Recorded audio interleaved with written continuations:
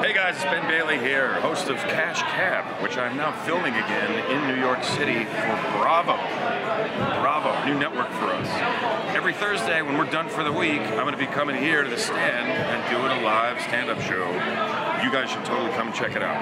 I'm bringing the crew. We're going to have a great time, man. Great comics, good friends, people dropping in. It's going to be